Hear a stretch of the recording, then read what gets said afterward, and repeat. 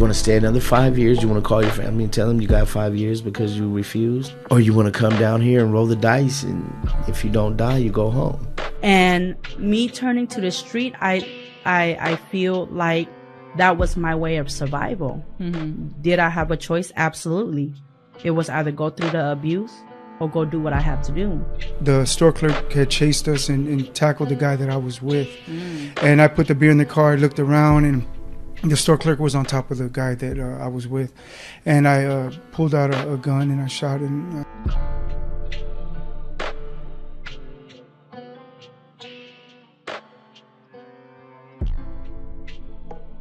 and I would love for people to hear what you're doing. How did you how did you first whenever you first got out? What was where, where what did you get into? And how did that spur and lead off into all the things that you're doing right now? Sure. Uh, the first thing I want to say is that because of the way the system is structured right now, because it is punitive based and not humanizing, many people come home, and this is a shortcoming of many of my people. We come home and we have a very limited view of ourselves. Hmm. We have a limited self esteem. Absolutely. And we have a limited perspective on who we can be and what our potential is, what the possibilities are. Yeah. Well, because you've been inside and you're a number. You're not a name. You're not. A, you're, you're, literally right. an animal. You're cattle. You know. And so when you're in that for years and years and years, that's what you you think you're nothing. You're just this. If you've whatever. been told since you yeah, were this high that you're going to be absolutely. just like your uncles and you're going to go to prison one day, I mean, right? You know, so it's not just it's I'm yeah. not, it's not just systemic in the sense of institutional. Mm-hmm. It's also mm-hmm. family. It's Correct. culture. Correct. It's the neighborhoods we come from. Yeah. It's school to prison pipeline. Right. Right. Exactly. School to prison pipeline isn't just educational. It's the experiences you have from that age to this age that guide you through that whole pipeline. Mm-hmm. And a lot of that is you're never going to amount to nothing. Right. You're never going to be anything. Right. And so you behave that way. And so I would just start that by saying that a lot of us come home that way, but I did not. Mm. And that is the key I feel to any success that I've had thus far is that I refuse to have a self-limiting view Absolutely. of myself. Absolutely. I love it. I know what my potential is. Yes. I know that it's still possible, and no one's going to tell me any yeah, different. That's right. I, I sometimes do feel the pinch of I'm behind the clock. I lost 21 years of my life. Had I went into the film industry back then, I could be running a studio right now. Mm-hmm. But that's not what happened. Yeah. Nevertheless, I can still You're make there. the impact I want to make on the world. Absolutely. And, and, and it doesn't have to be limited by my circumstances. So I just want to say that. And I came home with that attitude. You just don't know what you don't know, right? So I came home and my plan was I was either going to go into Caltrans or get some other job and I was just going to kind of work my way up into something mm-hmm. like a manager or mm-hmm. supervisor mm-hmm. or something, right? Um, no knock on any of those professions, but that's what I thought I was going to do. And I didn't even know that my oldest dream, since I was this high, yeah. working in the film industry, I didn't even know it was possible at the time. Right?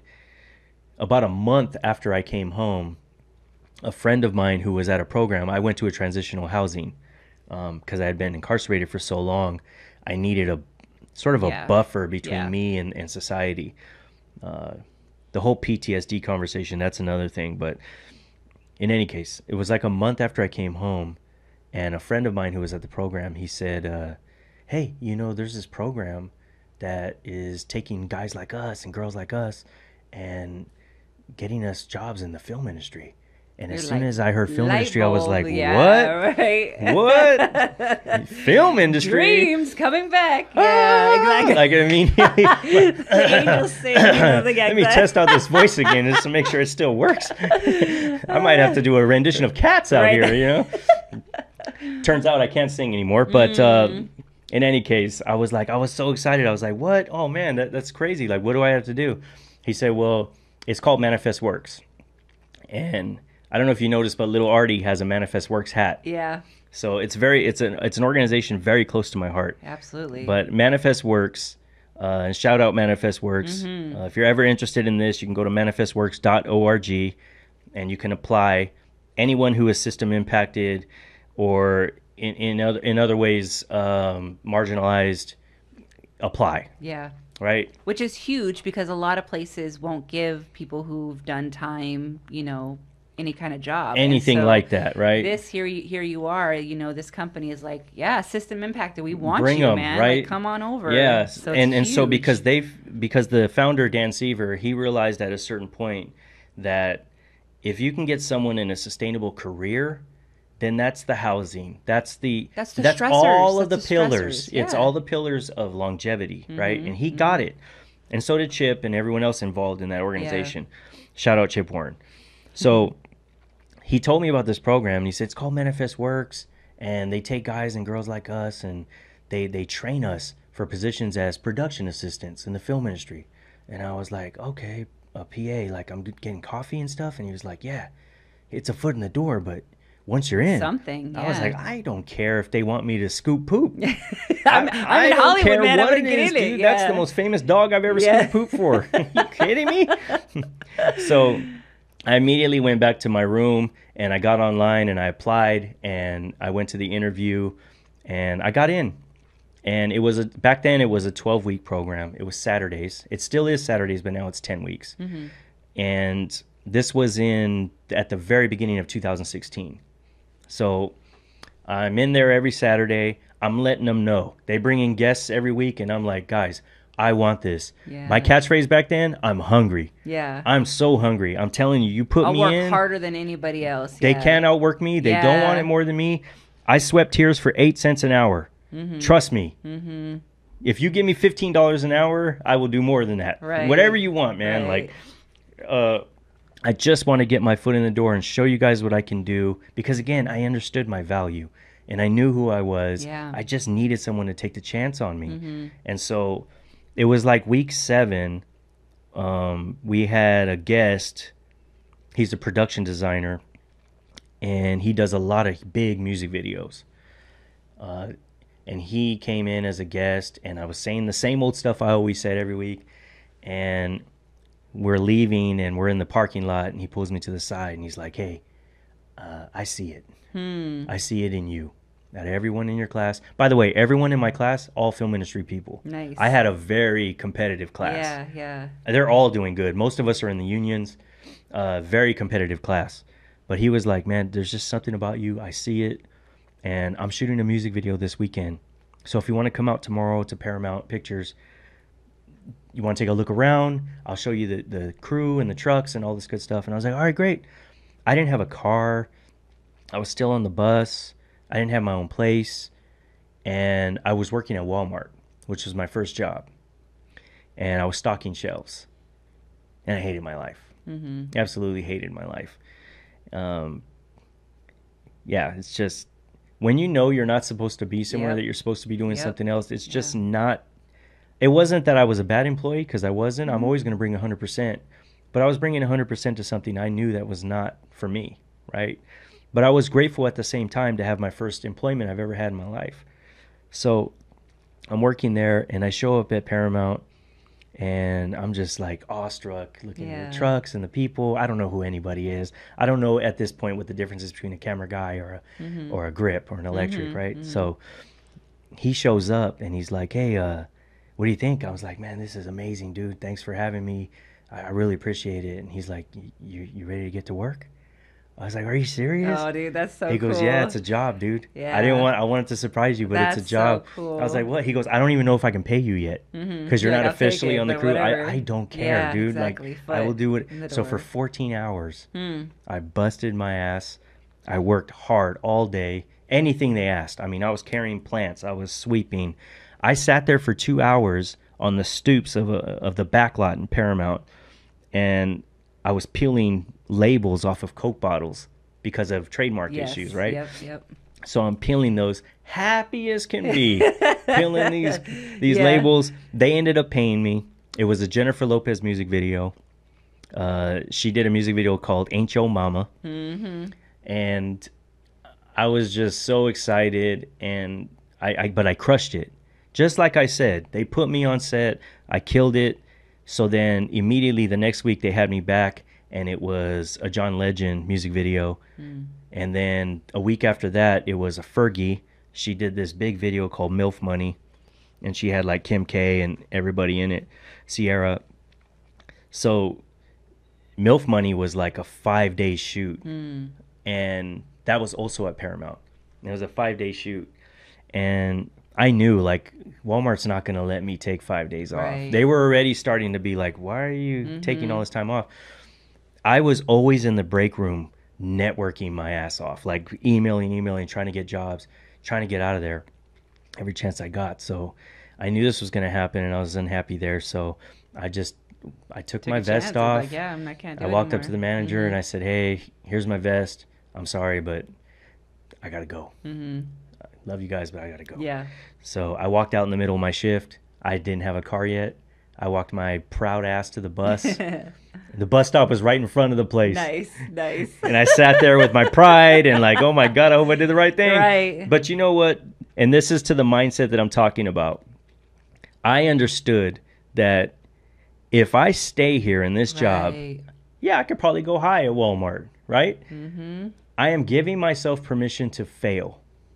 Yeah. If and I it's stay okay. here. And it's okay. Yeah, but if I take this leap, I force myself to get in the water, force myself to Yep. swim. I have to make this happen. Right. If if that works out, how much more rewarding is that? Exactly. So I dove in the water. I Yeah. Mm-hmm. didn't have a car yet or my own place or anything, but I dove in the water. And I have not stopped swimming ever since. Yeah. It really worked out. Yeah. Because I went from music videos to commercials and then to television and to feature f- Yeah. films, right? Mostly television. And I did the PA thing for three years. A year after I graduated from Manifest Works, I joined the board of directors. And I've been on the board of directors ever since Nice. and I go back at least once every session and I, I talk to the new class. I've taken so many under and gotten them jobs. I've sent people in Yeah. and gotten them in. So I'm also a gateway for people. So many of us are in the unions now. But I was I was a PA for three years and I did the coffee and I did the copies.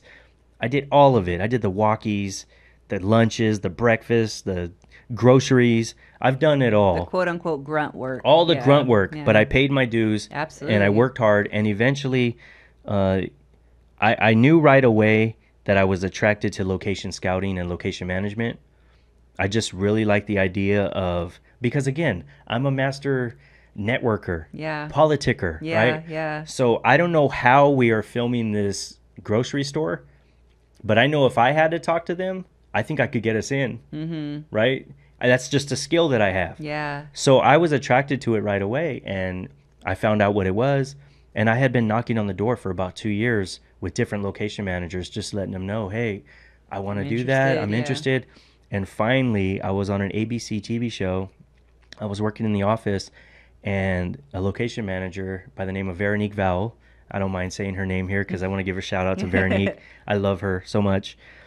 Veronique Vowell, who's been a location manager for 25, 30 years. Um, she has done all of the Shondaland stuff. So, How to Get Away with Murder, The Grey's Anatomy, yeah. the you know all all those all shows. of it. Yeah. I watch Um, all of those. right. so good. well, I we we hit it off, and Mm-hmm. I had and just like everybody, I had been telling her, and that's the other part of this, right? When you ha- when you do not have a limited view of yourself, you do not limit yourself Mm-hmm. in the way that you connect with others. The ask is always there for you because you're not limited. Only a limited person would be scared to ask for something yeah. because they don't feel they deserve it. Right. They're worthy of it. Absol- absolutely. Their value doesn't match Absolutely. to it, right? But when you have that that ownership over your value and you actually see what your worth is, you're not afraid of the ask. Correct. You understand that a no is not really a no. Exactly. It's just a redirection. Exactly. It's a pivot, right? And you also understand that a no is part of it. I'm going to get 999 no's until the thousandth is a But yes. I'll get one. I'll get one. So I have to start asking now. Yep. The sooner I get to 999, yeah, the better off I am, right? So exactly. Let's just get through these no's. And I understood that, and I had got so many no's. And so I just put it out there to Veronique, and she was like, I really like you. You're smart. You have a really good attitude. And that was all she said. Mm-hmm. And then, like a month later, I'm doing copies or something, and I get an email, and she's like, Hey, are you still interested? And I was like, Yes, yes, I am. She goes, Well, ironically, I have another show at Paramount.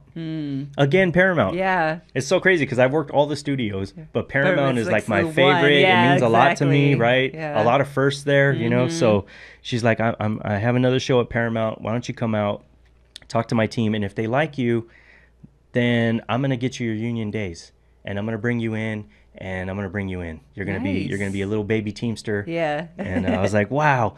So th- I got the interview. They liked me, and I started working with them. And it was in 2018 when I got my union days, and I became a Hollywood Teamster and an official location manager and assistant. And I've been doing it ever since. And now mm-hmm. I am what they call a key assistant location manager, which means I moved up. I'm just under her, mm-hmm. and I've learned so much about the job. I have a lot of responsibilities, but it's a really rewarding, great job. Yeah. But that is also that's my job, Yeah. right? And then I have all the other things that you wanted to talk about. but- Absolutely. Well, before we get into that, let's get some food on the table because I know it's uh, getting time for for some food. So let me go grab that really quick, and then we're gonna get into all of the extra stuff that you're doing. And Okay. yeah, super exciting. So let's go grab that right now.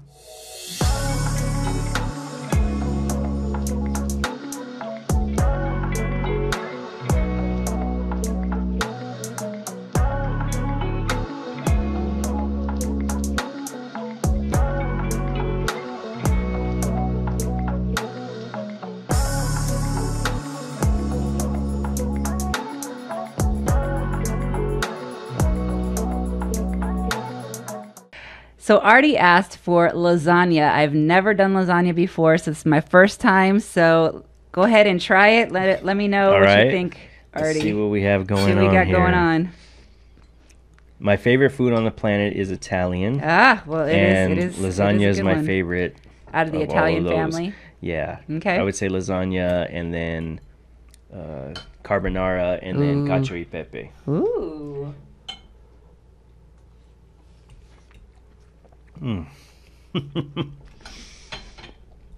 Oh, that's good. Is that good? Yay! Yeah, Yeah, first time really literally good. ever doing uh, lasagna from scratch. And my first time eating on camera like this too. So this is really great. I love it. I love you're gonna it. get all the asmir, like you're gonna get like the taste of like You get the yeah the the ASMR or whatever. Like you get the chewing. mhm, the chewing, the lips. Mm. When I cut through, you're gonna get the fork.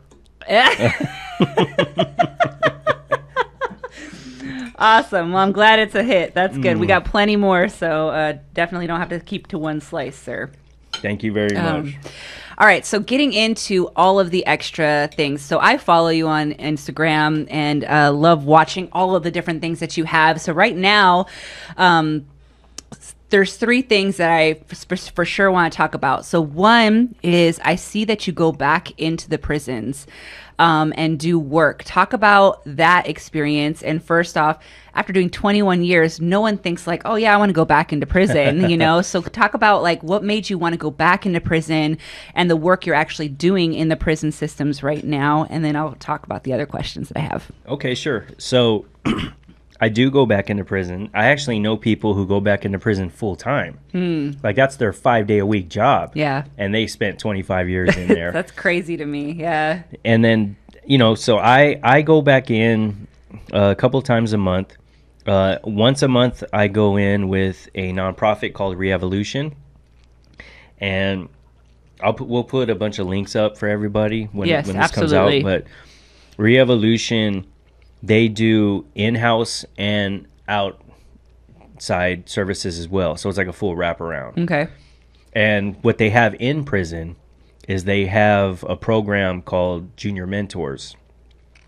And Junior Mentors is it's basically it's a program where we take the vulnerable population of guys between 18 and 25 and we bring them all together and we process with them. We Wow. talk to them, we work it out, we get into a big circle and uh, we take them through like childhood development and like really get them to have insight into how they arrived where they are today.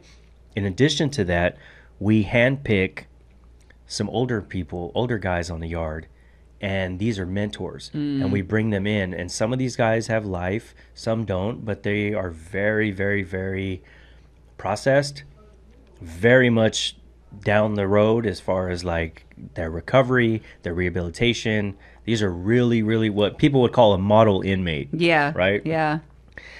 Well, we bring them in and then they start to work with these youngsters. And a lot of them have the mentor mentee relationship with each other. I go back inside because it's it's just very important to me. I was as 16 years old as a juvenile tried as an adult. The youth really, really matter to me Mm-hmm. because. I understand that it's at that age It's where, where, things can yes, really. absolutely. That's where your trajectory, like, Right. what path are you choosing? Yeah. I do I do other work where I try to catch them before that Mm-hmm. ever happens, but not as often as I catch people on the other side Right. when it's already happened. Yeah. And so everyone has a role to play. but- Absolutely. Absolutely. So I go in and I'm and I'm dealing with these youngsters and it's just a really great program. And then after these young men graduate from the program, junior mentors, then they themselves will sometimes come back and then they're mentors. Oh wow. and then Full they mentor the younger guys around them. So it's it's about a holding you know it's about accountability. Yeah. It's about like having those accountability partners and things like that. It's a tremendous program and it's highly impactful. So I go in once a month with them. Recently, I went into a prison with the Inside Out Writers, and uh, shout out Roberta from Inside Out Writers, and it was my first time collaborating with them. She has a program where she goes in and they write, and and they write a lot of things: poetry, rap, essays. Oh, that's cool. It's just expression through yeah. writing Yeah. and um, and it was really great to go in there with them and just really talk to those guys. And uh, me being someone who's a, from the creative side of things, um, I was an in prison rapper for a long time in my twenties. So like uh, rap and poetry have always been uh, an expressive outlet for me. Yeah. Um, at least they were until you know later in life, but they were they were very important to me at one point in time. And now that the writers are on strike in Hollywood and most of us aren't working, I have started to work with a nonprofit called the Prosecutors Alliance of California, or PAC. The Prosecutors Alliance of California, what they do is they, you know, we've heard the term progressive DAs, right? Yes. Yes. and we're always trying to divide ourselves and split ourselves Right. with these terminologies. Right. By the way, they don't really believe that. It's it's, but I use that because that's what people understand. Mm-hmm. But it's it's this new generation of district attorneys and some old generation of district attorneys who have always believed the truth, which is the system as it is set up today is not set up for public safety. We think it is, hmm. and what we call justice is actually just punitive and it adds to harm, right? Justice is supposed to look like accountability. Right. But the problem with that is we also view accountability through a punitive lens. Just think in your own mind right now. Someone commits a crime. What's the first thing you think? Cuff them up, throw them away Yeah. someone you know does something really egregious you know take any example you want in the media and the first thought in our mind is always how do i make this person suffer Right. Right. what's the vengeance right? Exactly. Not healing. Not trying to. Yeah. nothing Yeah. because they don't deserve right. that Exactly. right the problem with that is that that is not actually justice we've only been taught and conditioned that that is justice and it does nothing to enhance public safety on any level again the 70 75% who are coming home Mm-hmm. I'm not saying that someone shouldn't be removed from society for the safety of others. Absolutely. If they're at their worst and they're harming others, something has to be done Correct. with the person, right? Correct. For the safety of others. It's what happens after that Yeah. Or before that that really matters. And I think the before part is where a lot of people get caught up because the before part, before this ever happened, we are really hesitant to accept the responsibility and the role that we play hmm. in the problem. Because we live in a society where it's like, well, I'm not the one that did it. It's I know plenty of people who come from the hood mm-hmm. and they do great in life. So you had that choice too. You don't understand that the way that you view this through the lens of vengeance and punishment, it is only contributing to the worsening of public safety. Hmm. And you're trying to mitigate your own responsibility. Right. Because in true citizenry, all of us would step up and say, This is unacceptable. Mass incarceration truly is not working. What do we all do? Yeah. What can I do as a citizen to actually enhance public safety and lower Right, crime rates? right. But we don't ask that in this society, We're in too this country. selfish. We are. We're too selfish. And we've been conditioned that way. And Yeah. some people would say that's just a product of capitalism. Some people would, you know, right. great. Wh- whatever it is, it's what's it's happening. Still, exactly. And- So- yeah. and yeah. and so this this organization what they are doing is they are trying to shape policy and they're trying to activate district attorneys and empower district attorneys who are seeing through the lens of here's how we genuinely enhance public safety if someone comes in front of me and I see that they need to be removed from society, what else can happen so I can ensure that they're not just sitting on their bunk for five years? Exactly. Is there an alternative to Right. incarceration? Is there Right. uh, something that is this a really a mental health situation? Is this someone in their addiction? Is there something else that they need that I, as a district attorney, have the power to influence and actually enact real change That's in this person? Right? I love it. It's it's a fantastic Yeah, I love organization. it. And what I've been doing for them is I've been coordinating visits, uh, and we just had our first visit with district attorneys to take them into prisons Hmm. so they can meet the men.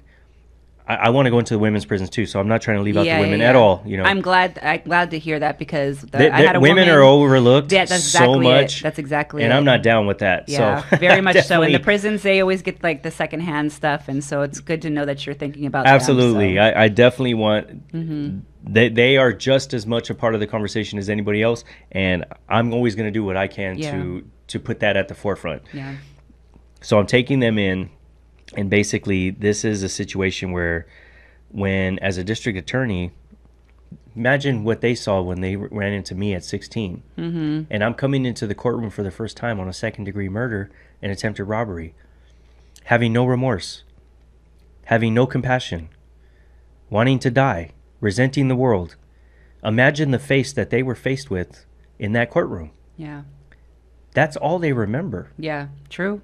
True. They don't know me today. True. They didn't know me 20 years later when I started to turn my life around, right? Like, they didn't even know that was possible because that's all they've ever seen is the worst event in someone's life a snapshot of a person, Yeah. a moment, Yeah. right? And I'm not.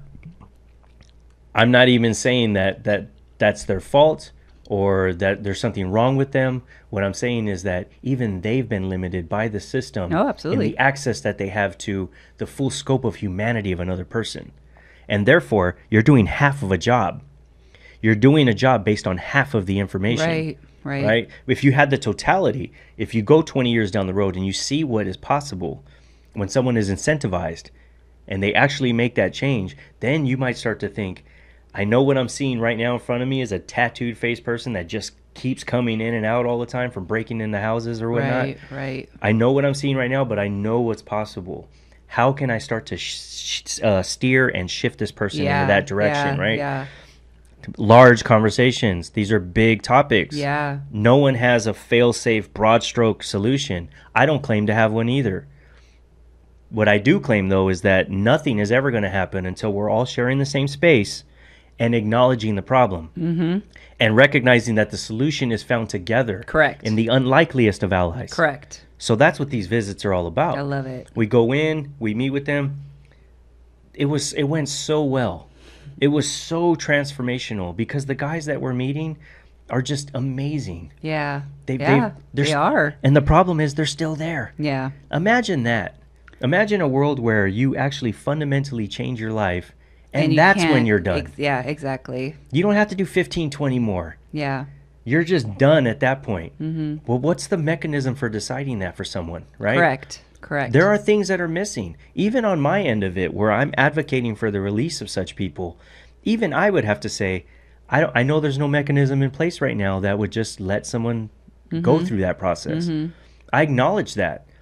But part of the acknowledgement is come in the room and like, let's, Let's figure fight- it let's- out Yeah. together. Exactly. Exactly. So, so that's what I'm doing for them. And yeah, it's just, That's I, I have. I have these partnerships with these nonprofits because for me it's just and you asked why I go back I, I cannot forget where I came from, and I can't hmm. forget the people I left behind. Yes. That that old black man I was talking about with the white hair, Yeah. the wise man that I would chase on the yard for his wisdom, he's in there right now. Hmm.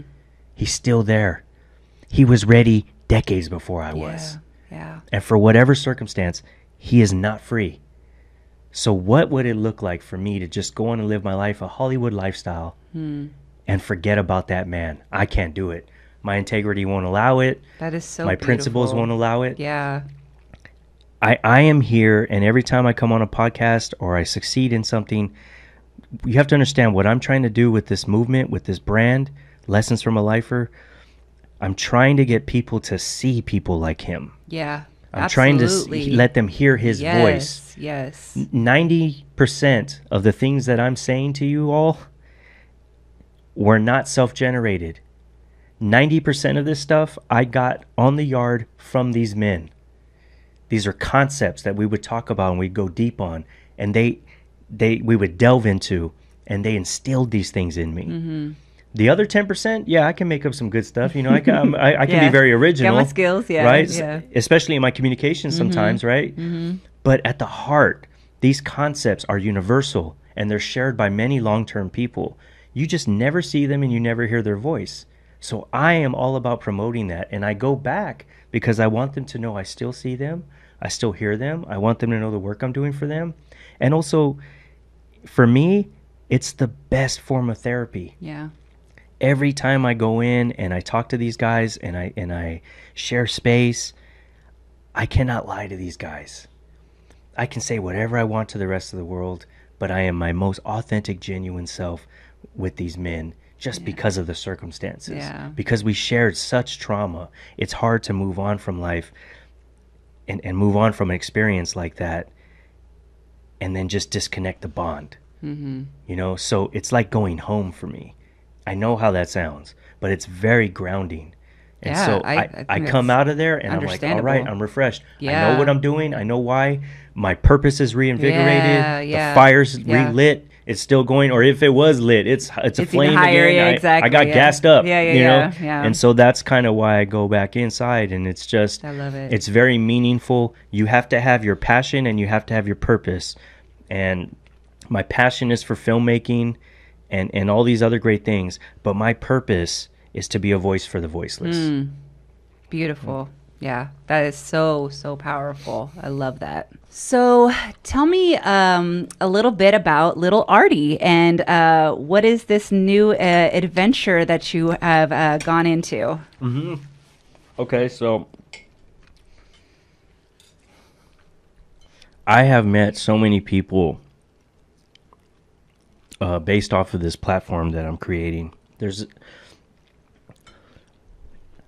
I was trying to think about like, what would be the best way to be a bridge in this world, right?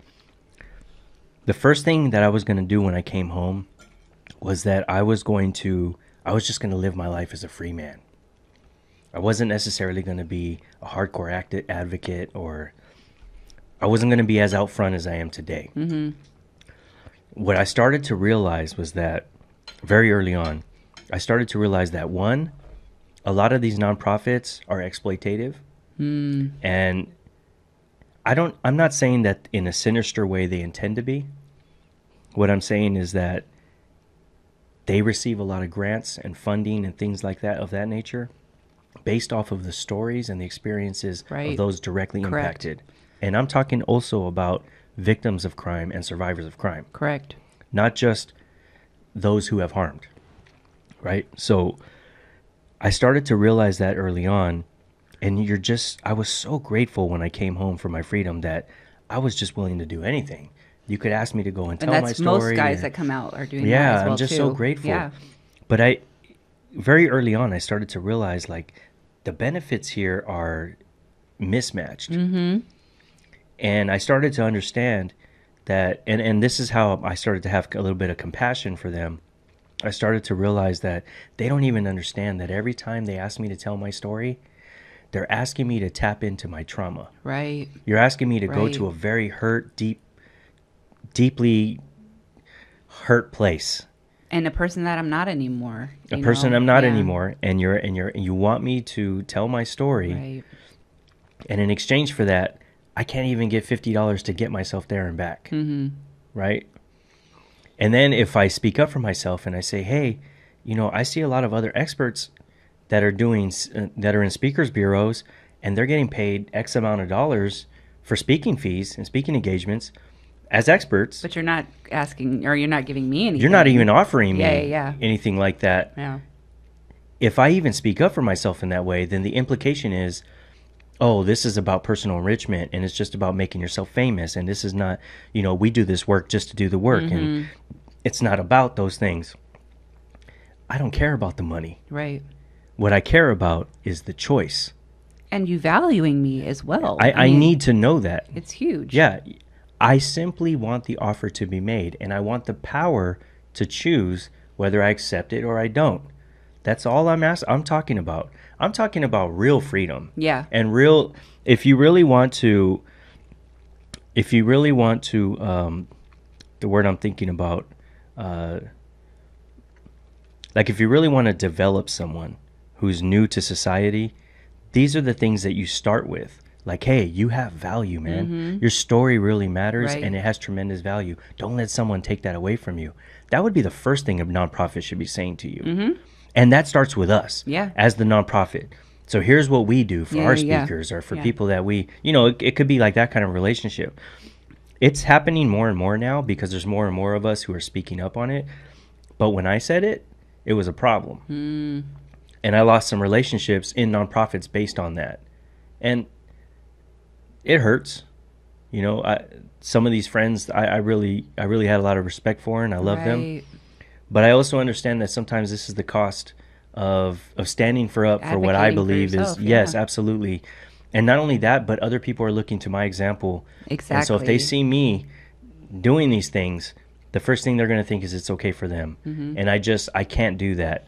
I, I'm not going to do anything that adds to the harm of others. Right. Empowerment Yes. is the word I was looking Yes. for, and I am all about the empowerment of the formerly incarcerated space. yeah. So I started to see these things and I started to call them out. And I started to realize that if I was not using my voice, someone else was going to use it for me. Mm, yes. Uh, Absolutely. and, and I'm just going to say it uh, left wing, progressive, often white, or maybe not, but progressive, left leaning uh, advocates, allies with no direct lived experiences. Some celebrities, some not, mm-hmm. right? Some real big celebrities. Mm-hmm. We don't have to name, yeah. Oh no. Yeah. but I would see them on panels, and I would see formerly incarcerated people on the same panel, and they would be the last ones to speak. And they would have to wait because this really high end celebrity would obviously have the mic first, obviously. Yeah. And this person who has who actually lived this Yeah. experience Has the knowledge and everything. once again had to be second classed and wait in line for their turn to speak. The rest of the room, I realized, and this is where the compassion came from. I understood that most of these people they didn't even realize that's what they were doing to us. Mm-hmm. They didn't understand that's how they were making me feel. Right. You're just second classing me again. Mm-hmm. You're making me feel othered. You're making me mm-hmm. feel like I'm not an equal in the space. I don't belong, right? I've been feeling that my whole life. So if you make me feel that way, I know what I'm feeling because people made me feel that way my whole life. And you can't gaslight me and you can't reason that away. Mm-hmm. I know what I'm feeling. Mm-hmm. I so I was like, I can't just be quiet anymore and live my life. I wrote an article called "The Unseen Shackles," and I called it out Yeah. the unseen shackles. Yeah. The shackles I still have still on me because by. of these things, right? And it was really I was trying to call forward individuals in the space, allies in particular. I was trying to call them forward like, guys, girls, people, humans, Yeah. this is what you are doing whenever you whenever you move forward with someone like myself. Mm-hmm. In the process of trying to do good, you can actually do a lot more harm Oh, absolutely. Because you're you don't really understand the population. And, And so you're not when- trying to have those key key conversations to try and understand before you put them in a situation either. You're not. You just auto, you just bring your own ideals to the plate and just say like this is the way it's going to be, not realizing that this can cause more trauma and harm that you're doing. Exactly. And and the thing about trauma is it it's not always so blatantly obvious. It's not mm-hmm. always a punch in the face. Mm-hmm. You know, a lot of times it's a cutting remark or Yeah. it's it's being neglected in some way. And and how neglected would someone feel if they serve 30 years in prison and they're sitting on a panel and they're the last ones to speak about what it means to be incarcerated or what it feels like? Wow Yeah. Yeah. right? So I called these things out, made a lot of new friends who were like basically a lot of formerly incarcerated people sent me messages and they were like, man, this is so amazing. Like, mm-hmm. we have wanted people, someone to say this for so long. Yeah. Many people in the nonprofit space were like, this is great. Everyone needs to read this article. And then I lost some friends mm-hmm. over it, right? Mm-hmm. Cool. Uh, it's it's the nature of it. Yeah. it- Right. It, happens. Yeah. It's just the way it works, Yeah. and it's all good. Like the work continues, mm-hmm. and also you don't have to agree with me. exactly. So That's the thing. we're all in the journey. Right? We talked Exactly. about the journey, so it's Yeah. it's good, man. And and and here and for the record, I don't cancel anybody. So Same. Yeah. I, I'm not a part of the cancel culture. You and I do not have to agree On every point. to maintain a friendship. Exactly. I ha- there are people I haven't spoken to in three, four years. If they called me right now and they said, "I need you," what? Let's talk. What do you want to do? Exactly. Because I'm not going to cancel you just because you see the world in a different way. Yep. That's what's been happening to us the whole time, mm. right? So, so anyway, I, I came out of my shell and I was like, it went from that article to I was like, I wonder how I can really. I, I wrote that article from a position of resentment and anger. Mm-hmm. And very quickly, I started to understand like, this is not the way to bridge The gap. the yeah, gap. Yeah. This is not the way to connect what I'm trying to say Mm-hmm. and our experiences to hearts and minds. Mm-hmm. Because I don't really resent that celebrity. And I don't want to push that celebrity away. The celebrity's trying to do, they are trying to help. And what I'm doing right now is not necessarily bridging the gap. I want them to have an understanding. Mm-hmm. So that they can be able to advocate for the situation and have Exactly. a better situation. Yeah. Exactly, but I cannot bring them closer to me if I'm already pushing them away right, from the onset. Mm-hmm. So I had to figure out another way, and I was like, "Well, what can I create? Because I'm always creating. Yeah. What can I create that would actually bridge the gap between my heart and theirs?" And I realized, oh man, it's it's the circle. All those times that we were in circle in the. Prison yards, right. all of us had different backgrounds. We all committed crime, but we were all there for different reasons. We all had different backgrounds, but the one thing that connected all of us was we all had a forgiveness story. We all had a traumatic story. We all had a uh, we all had to at some point question our beliefs or challenge our beliefs, right? We all respected leadership. We all wanted positive impact in the world. Do well, but do good. Mm-hmm. We all had these things in mind. And it was it, these were the bridges so we would go into these concepts with each other and that's what would connect us. And so I was trying to think how do I take someone like that celebrity who's not going to go to the yard with me and sit in the circle? How do I bring them into a circle in another way? Right. And that's when I started to think I'm going to create a, a, a platform called Lessons from a Lifer because I learned a lot of lessons from those lifers in the circle. And basically, I'm going to distill all of the wisdom that was given to me in these circles and I'm going to give them to the outside world as lessons. They're going to be extreme lessons, but mm-hmm. some part of it is going to resonate with these people, right? Mm-hmm. And and through that shared trauma or that shared story or whatever it is, that's how we're going to we're going to really start to experience shared humanity. Yeah. And that's how I bring the ally closer. And then they're more willing to listen to what I have to say. And now we can actually truly collaborate to make a difference. So I started to create that. And the first thing I did was I started to write a book called Lessons from a Lifer. Every chapter being a lesson. So I have a chapter on forgiveness, my self forgiveness story. I have a chapter on insight, like my belief system, um, and, and, and on and on and on. Yeah. Yeah. And then I decided, okay, well, in addition to the book, I want to do a visual podcast like the one you and I are doing right now. Mm-hmm. And I'm going to take these celebrities, uh, maybe not necessarily ones that I'm calling out in the article, Right, right, but just celebrity in Yeah. Mm-hmm. general, or, or even a thought leader or someone prominent, Yeah. right? Who's never been to prison in their entire Mm-hmm. life. And I'm going to sit side by side with them and we're going to have these deeper conversations. I don't want to talk about your movie. I want to talk about your trauma Yeah. Wow. right? And in that shared experience, the viewers they get to come into the circle with us Mm-hmm. and they get to benefit from that shared wisdom Mm. and that's how we all get drawn in closer so for me lessons from a lifer was a magnet Yeah. it was something bringing bridging the gap and bringing people together Mm-hmm. so then it went from that to that we filmed the first episode which is really great and that's on my website and my instagram uh, and then at some point during this whole process a friend of mine named christy she had written a series called little the adventures of little sass. Mm-hmm. And it's a children's book series. And these are great books. The adventures of little sass the main character is named little sass mm-hmm. and she's wearing a cape. Yep. and every book is an adventure through an emotional uh, adventure. Mm-hmm. Sometimes like a book could be about anger. Book could be about sadness right? And it's really like it's making it okay for people to get in touch with their emotions and to bring emotions back to the forefront mm-hmm. especially for children. Mm-hmm. The one thing that contributed to my problems later in life was that my emotions were forced to be suppressed. Hmm. I was not always allowed to express my emotions and when i did i was punished for it. And then if i went out to the streets to school to first grade second grade and i tried to express my emotions i was called a sissy. Mm-hmm. You know i was i was insulted masculinity type of thing. Yes, yeah. very much. So, reconnecting children with their emotions and making it okay for them to be expressive is the intention of this book series, and it's phenomenal. Yeah. Well, COVID happened, and sh- where she was, she was feeling very isolated, and a lot of people were. Hmm. A lot of people yeah, during that, especially say, during the yeah. early part of that lockdown. Yeah. You had folks like me who did eight years in solitary, where I was like, "This is great. I'm gonna go take a walk to the beach," and mm. I had a way different response. Yeah, because I than- knew how to handle Exactly. isolation. Yeah, yeah, yeah. Yeah. I knew any lifer, anyone who's done any significant amount of time Yeah. knows like.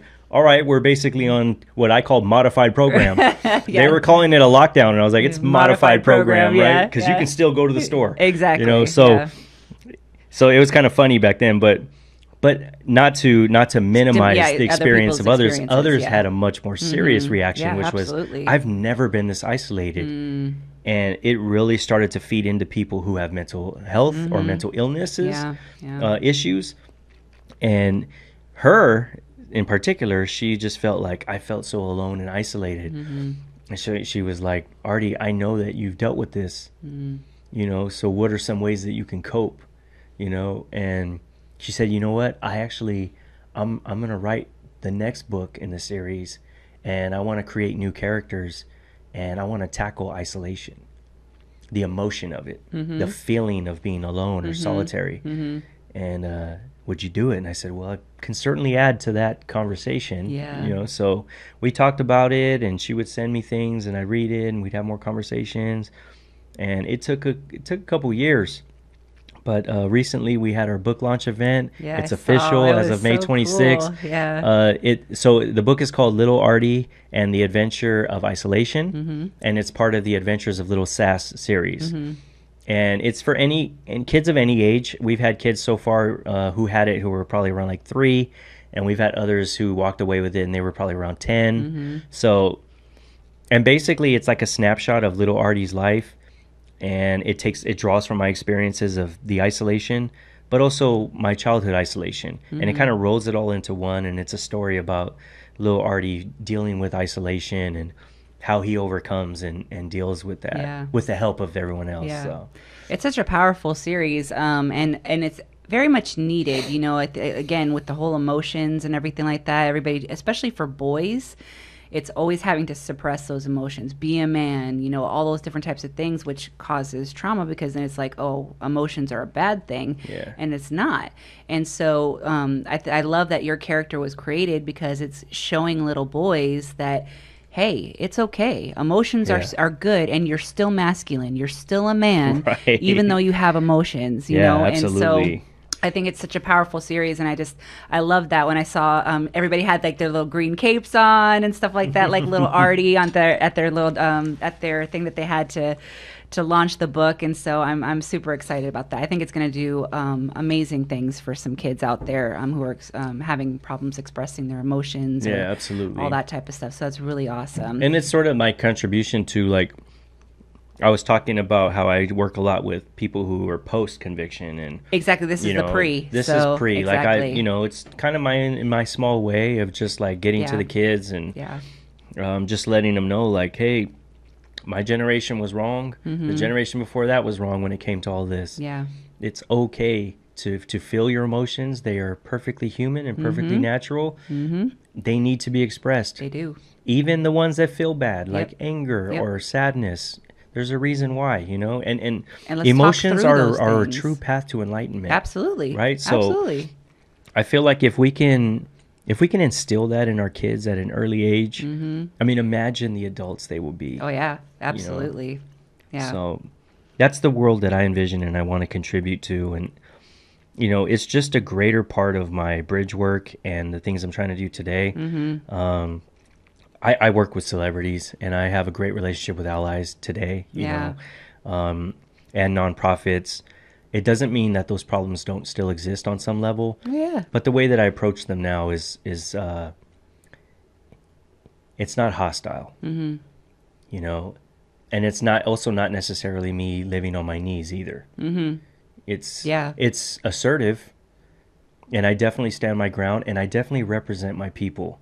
Not only that, but I feel like I also represent survivors of crime as well. So if I feel like they're being exploited or whatnot, then I also call that out too. Mm-hmm. So, and that's the whole thing that I think that people misunderstand is that they they are us. Mm-hmm.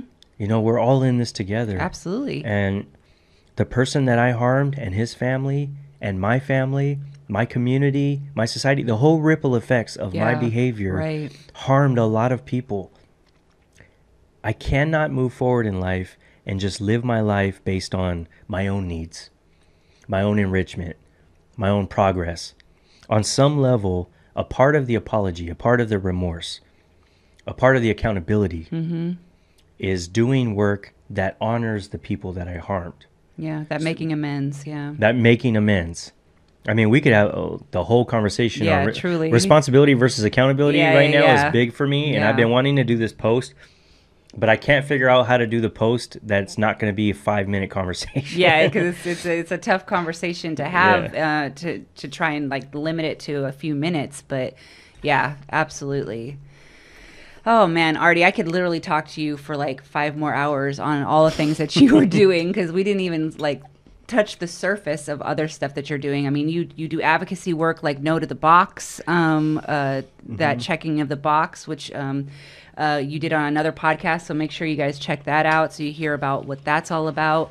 You're doing your own. Um, series tv series right now um, uh, work uh, that you're writing as well too talk about that a little bit before we go to So I, I am um I'm a script consultant and associate producer of a short film called The Bad Guy.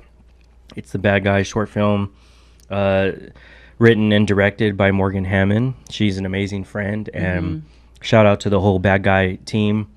Uh, the the project, the script revolves around a formerly incarcerated man who comes home to a society in 1997, comes back to the town where he committed his crime, and no one likes him. Mm-hmm. And then, in, and on top of that, he's facing all of the hurdles and obstacles um, of someone who's formerly incarcerated, including the loss of relationships. Like his daughter wants nothing to do with him, and you know, there's a lot of shame. And yeah so it's it's a, although it's a short film, it is a really really solid glimpse at just that sliver of someone's experience. Um, and so I'm I'm attached to that project. She wrote it. I I consulted her early on and throughout the process, and it's just.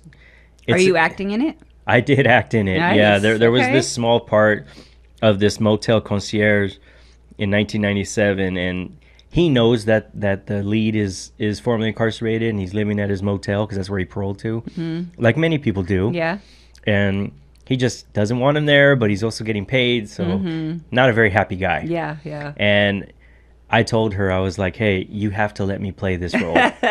I know this guy. Yeah, yeah, yeah. I've, I've run into I've run into this guy many times, Yeah, and I yeah. can play this guy. Yeah. You know, so I had a lot of fun doing it, and and really shout out to Morgan and, and team for allowing me to to actually get back to acting. hmm Exactly. I was gonna say it's My getting back youngest, to the the roots. oldest yeah. dream, The like dream. yeah, and it felt really good. Like it felt awkward at first, and then I started getting comfortable, and it felt really good to to be back in front of the camera again after so many years. Mm-hmm. A lot of full circle moments for me, and I think that's the beauty of redemption and freedom yes. is that it's never truly over, and you still can live the life you want to live, and you know you can still experience these full circle moments but as much as much as I, I enjoy them it's not necessarily about the full circle moments Hmm. that's one of the side benefits of just living a good life Yeah, a yeah, solid life yeah. you know like a law abiding life Right. a life where you actually feel like you have responsibility to your community and your society Mm-hmm. and you want to impact it in meaningful ways and while all that's happening you get to experience all this dope shit Yeah. you know and that's kind of like what i've been going through and experiencing and um, i have a writing partner his name is chip warren uh, shout out chip and we've written uh, we've written a prison tv show. We've written a rated r raunchy uh, comedy called tres papas. And that is our joke is it's kind of like a latino hangover in a sense. Uh, and it, it- all of our all of our stories involve in some way our, our, our social justice tinged or criminally justice Yeah, tinged. yeah. Um, like our leads are formerly incarcerated people, um, even the comedy. That's cool. you know. So and we've written all these great things, and that's a whole other journey. Yeah. Like traditional scripts in traditional media, like Mm-hmm. feature films, television. That has been the hardest thing ever. Hmm. Like we can get together with friends and we can create a lot of projects, but actually getting a project greenlit and making it to Yeah. you know Film Lionsgate, like, going, Netflix, yeah. Apple, Mhm. it's the hardest walk. Yeah. But again, like I said with the nose, I'm okay with that. It'll I've learned will to come embrace through. them. Yeah, and I got to tell you, right now I'm probably at about 990. Hey, well there we So go. I got It's about almost nine there, more- man.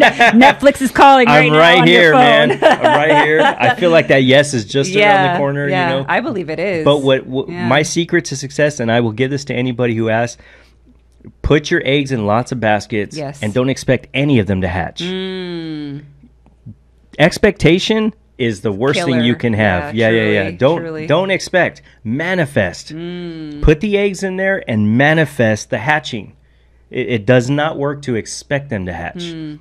And and also you're going to get let down. So. Yeah. you just put your eggs in a lot of baskets and here's the thing. Once one hatches, it feeds the other ones. It really does. You just need that one. So so I have uh, it's hard when people ask me like, "Hey, so what do you do, Artie?" You know, on these podcasts, Yeah, and I'm yeah, like, yeah. I wear a lot of hats these days, but it's because I'm learning to do that and to just like put all these eggs in different baskets, and Right. you know, we'll see what happens. Yeah. So I don't know how wh- when you sleep or how you have any free time with all the things that you do because it's all amazing work. But um, yeah, I I just wish you all the best. I truly do believe Netflix is going to be on the line at any moment, giving you this breakthrough. But um, yeah, you I, I I love your story. I mean, you are truly a testament of what redemption looks like, and that life is not over because of a bad choice or a mm. bad decision. I mean, look at I mean, yes, granted, maybe you could have been somewhere even more if if you didn't choose a path. But I mean, look Right. at what where you are now and all the opportunities that you have because you believe in who you're who you are and know that my past doesn't define my future.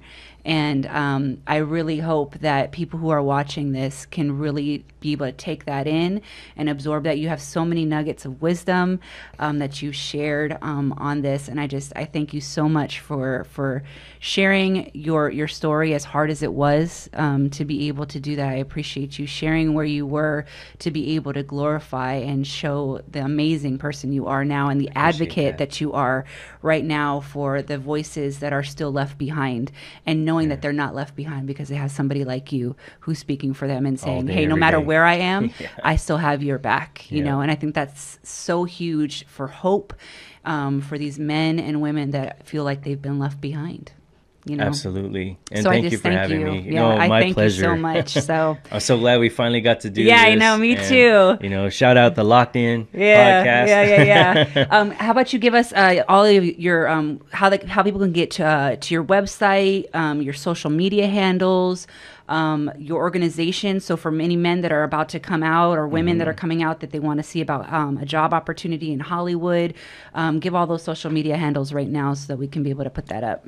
Okay, so you can on social you can find me at I'm mostly active on Instagram, so you can find me at the Artie Gonzales. My website is artiegonzales.com. Uh, as far as nonprofits go, I talk I talked about Manifest Works, so that's at Manifest Works uh, manifestworks.org. Reevolution is reevolutiongroup.org, I believe. And the Prosecutors Alliance of California. I mean, you can just Google them and then Yeah. that'll come up. But definitely, if you can hit all three of them, Mm-hmm. uh, see how you can donate, how you can contribute. Absolutely. Three really great organizations, and they, they always can use more help. Mm-hmm. So definitely do that. Uh, in terms of like, if you know someone that you want to put into the film industry or you think would be great, just DM me. I, I get everything on Instagram. I, I typically do respond, assuming you're not a bot or some Yeah, kind of like yeah. Russian model or something. I, I'm very likely to answer, and uh, I'm always happy to sort of just even guide someone I don't know at all. Mm-hmm. Like what I I may not know you, but I know that you want it if you're DMing me. So Mm-hmm. if you DM me, I'm gonna try to get you through, and I'm always just looking to connect and make new friends. Um, but more importantly, I think I just want to say to everybody, whatever you think about yourself right now, it's not enough. Hmm. There's more to it. There's a lot more to it, and you're worth a lot more than you think you are. But the value that you do see in yourself right now is everything. Like, see the value in yourself. Mm-hmm. Only then are you going to be able to see the value in others. Only then is it going to matter. So I don't know how you are going to touch the world, but I know that you are meant to positively impact the world. And if you're someone who's living that lifestyle right now and you see this, I just want you to know I've been to the end of the rainbow. There's no pot of gold. Hmm. There's no pot of gold. But you do you until you're ready to until you're ready to make a change. And when you are, come hit me up. One thing I'm never going to do is close the door on anybody. Yeah, that's So huge. I'm ready when you are. yeah. Yep. I love it. Take him up on it, guys. Man, I'm serious. this guy's amazing. And where can people be able to get the the art little Artie book as well as the book that you've written as well? Where can people get that? So if you go to, uh, it's on Amazon. Okay. So if you go to Amazon and you just type in the search Lil Artie and the Adventure of Isolation, it pops right up. Awesome. So yeah, and definitely if you like it, leave a review because I'm, I'm being told that matters. So Mm-hmm. Yes, yes, it does. support your friends, support new authors. Let's get us out there. That's right. Absolutely. Thank you again, Artie, so much. I appreciate your time and um, all of the amazing things that you're doing. However, we can be able to assist. We're here for you as well, and the men, then women that are behind the bars as well too. So, awesome. all right. Thank you so much, guys, for watching this podcast, Breaking Bread. We'll see you next time.